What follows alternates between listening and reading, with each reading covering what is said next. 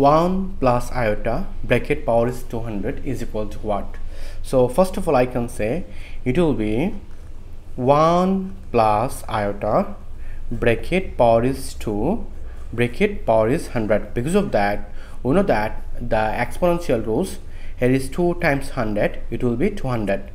then we know that e plus b whole square it will be a square plus 2ab plus b square. According to this rules i can see it will be 1 square plus 2ab here is b square bracket power is 100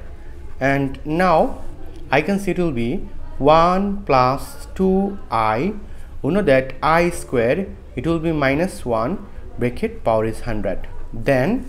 1 1 cancel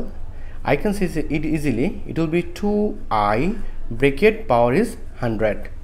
then here is 2 to the power 100 times i to the power 100 then I can say 2 to the power 100 times i to the power 100 it will be i to the power 4 bracket power is 25 you know that 4 times 25 it will be 100 then 2 to the power 100 and i to the power 4 it will be 1 bracket power is 25 so it will be 1 because of that 1 power 25 it will be 1 so our final answer is 2 to the power 100 this is our final answer